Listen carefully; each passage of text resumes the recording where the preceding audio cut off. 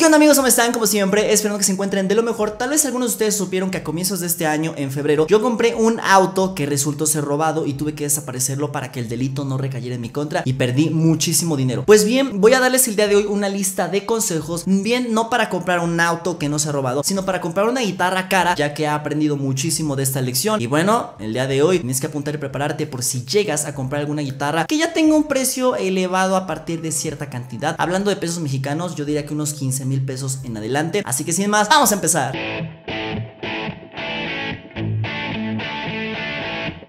Para hacer esta lista de consejos tuve que pensar como criminal. Hay que ponernos en la mente de una persona que se dedica a estafar a la gente y vamos a poder dar con la manera en la cual podemos evitar sufrir un fraude. Primero que nada, hoy en día prácticamente todo se vende por Facebook. Hay muchas páginas como Mercado Libre, Amazon y un montón de páginas de ventas. Sin embargo, Facebook sigue siendo la preferida hoy en día para comprar cosas. Por lo tanto, pregúntate lo siguiente, la persona que está anunciando la guitarra que vas a comprar, supongamos que tú te quieres comprar una guitarra Gibson Les Paul supongamos que te quieres comprar esta guitarra y la persona la está anunciando en un grupo de ventas de instrumentos musicales o un grupo de músicos o incluso un grupo de ventas generales, no importa. Y tú viste la guitarra, ¿es un perfil falso? Te puedes fijar en la fecha que fue hecho el perfil, te vas hasta abajo y aunque sea un perfil que sí tenga una fecha antigua de creación, tiene amigos, tiene su lista de amigos pública, tiene fotos reales o tiene la foto de un auto, tiene la foto de los Looney Tunes, no tiene dónde estudió. Luego luego es bien fácil darte cuenta si es un perfil falso. Y estos consejos te pueden servir a ti porque tal vez tú toda la vida has tenido una guitarra económica y de repente tu papá porque terminaste la secundaria o la prepa o entraste a la universidad te quiere comprar una guitarra costosa y es normal que nosotros muchas veces no sepamos cómo evitar un fraude o una estafa al comprar una guitarra cara. Porque puede ser tanto dinero como el de un coche una de estas guitarras. Por lo tanto, fíjate que no sea de un perfil falso. Es muy importante lo que te voy a decir. Si tú decides omitir alguno de estos consejos que yo estoy dando, si tú le compras a una persona cuyo perfil es obvio que es falso, que lo utiliza para ventas, que no hay manera de saber dónde trabaja, dónde estudió, quiénes son sus amigos, si nadie le comenta en sus fotos, si nadie le pone like, si se ve que ahí no hay una relación con otras personas, corres el riesgo de que te estafen. Si tú decides ignorar alguno de estos consejos, va a ser totalmente responsabilidad tuya. Una vez que te pongas en contacto con él, generalmente por mensaje privado, por inbox, le vas a preguntar por qué la vendes.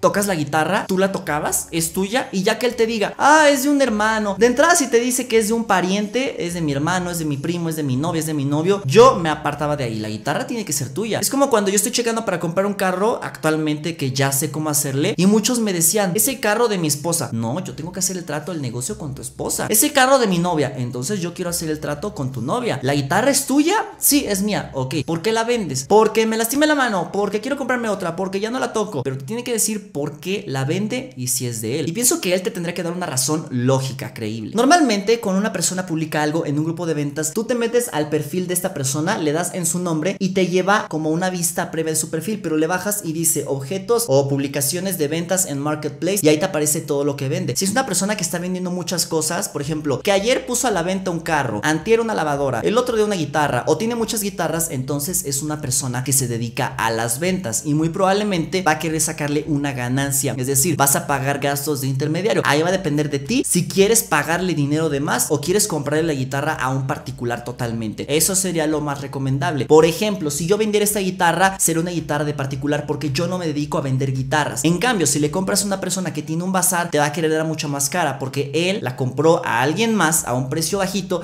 y a ti te la va a querer dar cara. Este punto es súper importante y por favor no lo vayan a omitir. Compra guitarras solamente que estén en tu ciudad de gente que sea de tu ciudad. Para ello vas a checar el perfil. Si tú vives en Morelia, le vas a comprar la guitarra a una persona que también viva en Morelia. No que tenga que vive en la Ciudad de México y que te la envía. No, envíos no. Y menos por páginas de Facebook. Tal vez por Mercado Libre, pero eso ya es otra cosa. Porque ahí te tienes que fijar que sea compra protegida. Pero si te está vendiendo una persona por Facebook y tú eres de Puebla, cómprale a alguien de Puebla. Si te está vendiendo alguien y tú eres de Toluca, cómprale a alguien de Toluca. Que veas en su perfil que iba en Toluca. Supongamos que dice que iba en Toluca, pero dice que estudió en la universidad de, no sé, de Nayarit. Entonces ya ahí hay una discrepancia, hay algo raro. Fíjate muy bien en eso. Jamás compres guitarras de personas que vivan en otro estado y te prometan que te la van a enviar, que tienen buena reputación. ¿Por qué? Vamos a suponer algo. Probablemente sí tiene buena reputación porque ha vendido guitarras baratas, baratas, baratas, puras Squire, supongamos, de las gamas más bajitas. Vende 20, hace una buena reputación y de repente quiere vender una guitarra de 100 mil pesos, que viene siendo 5 mil dólares americanos para meterle el golazo a alguien. Y te dice, checa mi reputación, checa mis calificaciones de Facebook, ya hay calificaciones de vendedor, checa estas ventas que hice, hasta te pueden mandar capturas de pantalla. No te arriesgues.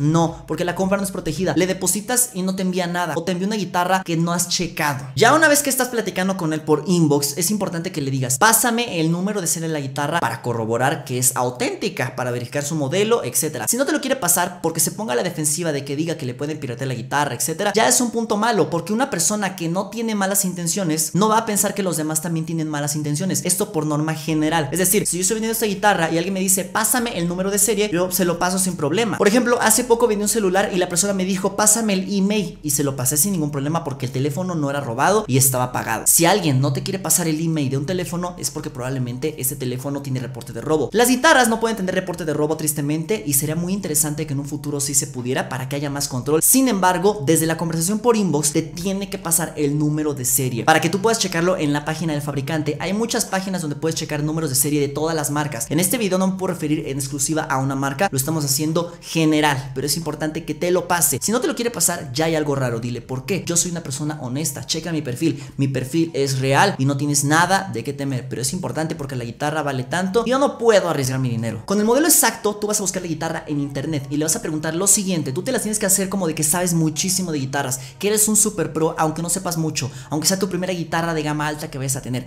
Le vas a preguntar si tiene pastillas originales, que te mande fotos así de cerquita, si el clavijero es original, si el puente es original, si los también, hasta la entrada jack tiene que ser original. Si alguna de estas cosas es modificada, por más que él te diga que es mejor, que trae mejores pastillas, tú le bajas el precio, porque una guitarra sin sus componentes originales, para mí, baja de precio. También tienes que pedirle fotos del clavijero por adelante y por atrás y decirle, oye, no se ha roto de la pala porque lo veo un poco raro. Si ves algo así como un poco extraño. De igual manera le preguntas, porque si sí, se va a poner nervioso y quizá no te mienta. De la parte de aquí también le vas a preguntar, no se ha roto, porque generalmente si se rompe de aquí, la guitarra pierde muchísimo su valor. De igual manera si se de la pala. Todo esto que te estoy diciendo aplica cuando estás platicando con él por Facebook o por WhatsApp, antes de que lo veas en persona para que veas que la compra es segura. Si ves alguna anomalía desde ahorita, no vale la pena que lo vayas a ver. Necesitas pedirle foto del certificado de autenticidad y este tiene que ver lo más original posible con el número de serie de la guitarra, con alguna fecha, etcétera. También la foto de la guitarra en la fábrica. Generalmente las guitarras costosas les toman una foto en la fábrica en la que se hicieron y ahí se ven algunos instrumentos con los cuales le estuvieron ajustando. Si te dice que no tiene la foto, que no tiene certificado, de entrada, más que nada por el certificado, la guitarra baja mucho su valor. Es como la factura de esta guitarra. También le vas a preguntar si tiene la nota de compra, el ticket, la factura, etcétera. Si no tiene alguna de estas cosas, el valor de la guitarra baja y además se vuelve dudosa su procedencia, especialmente si falta el certificado de autenticidad. Recuerda, si tampoco te lo quiere enseñar por foto, huye de ahí, te puede querer estafar. Lógicamente la persona te puede decir el argumento que ya te dije, oye, no te lo puedo pasar porque luego falsifican mi guitarra, pero tú, la comunidad que está aquí en este canal que me ve, no somos personas malas, por lo tanto vas a manejarle ese argumento. La guitarra trae su estuche original, porque si no lo trae, tú vas a checar en la página de internet con qué viene la guitarra. La guitarra viene con su estuche original, para ello tú vas a estar checando con el modelo de la guitarra en internet. Está toda la información prácticamente de la guitarra que tú busques. Si tú ves que esta guitarra venía con un estuche oro edición especial, por ejemplo, no se lo vas a aceptar con otro estuche porque baja el valor. Uno marca Gator, que son universales, le vas a decir, oye, no tiene su estuche original, le bajas el precio. O si no trae la funda, de igual manera le bajas el precio porque son cosas que estas guitarras deben de traer de fábrica. Él pudo haber agarrado el estuche original y venderlo por fuera y de esta forma sacarle más dinero a la guitarra y no te van a ver la cara a ti. Con el mismo modelo de la guitarra, por ejemplo, si es una guitarra Gibson Les Paul estándar color trans amber modelo 2016, vas a buscarlo en internet y vas a buscar su precio que tuvo de lanzamiento. Puedes ponerlo con la palabra en inglés price, precio, y también lo vas a buscar en la página de alguna tienda de México o de Guadalajara que venda esa guitarra o que en algún momento la haya vendido. Les puedes llamar y decirles que si tienen esa guitarra disponible como si la fueras a comprar y que cuánto es su precio. Si te dicen ya no hay, puedes preguntarle que si pueden checar de cuánto era su precio. Ya te van a decir, era una guitarra de 50 mil pesos. Oye, y te la quieren vender en 48 mil pesos. Cuando ya pasaron 10 años,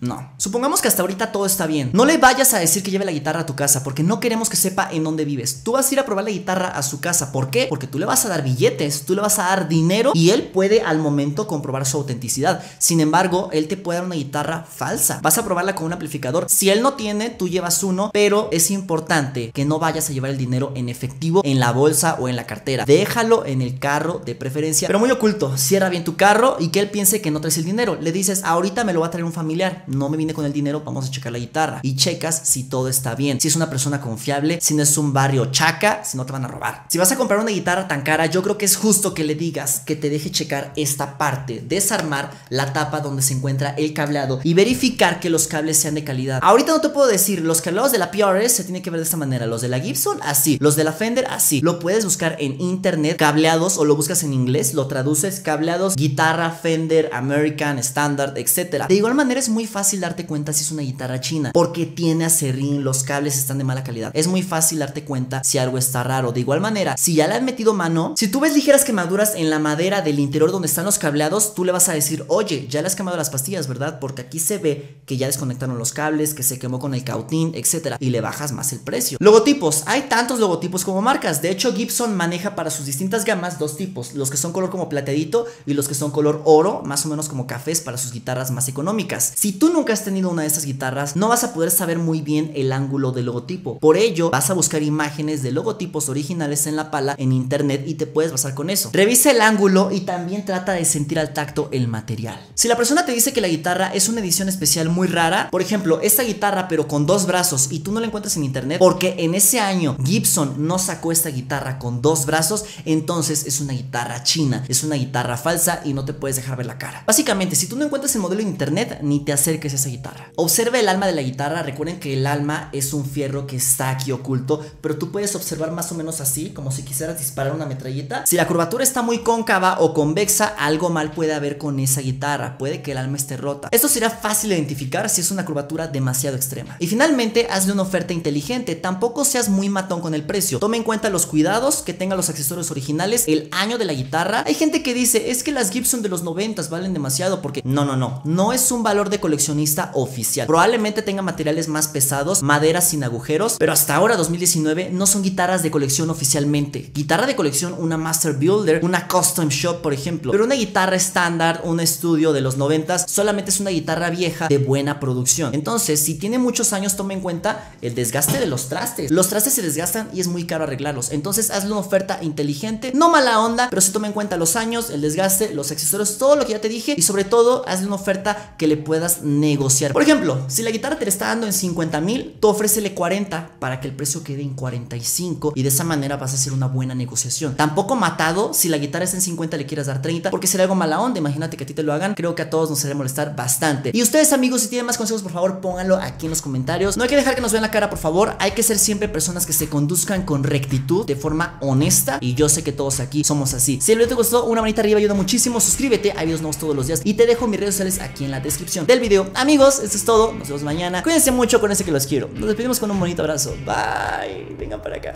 Tengo recuerdos que no puedo comprender, ni los puedo controlar. Y es que no me siento.